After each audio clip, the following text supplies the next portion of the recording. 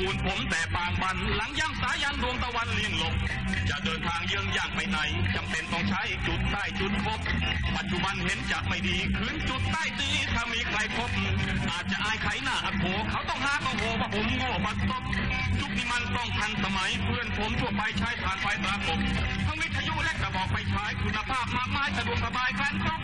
ท่านมีหลายอย่างวางกองเขากลับรับรองว่าต้องแค่ตากบเห ตุและผลเขาหน้าฟังคักขอให้ลองสดับหน้าทันที่เคารพ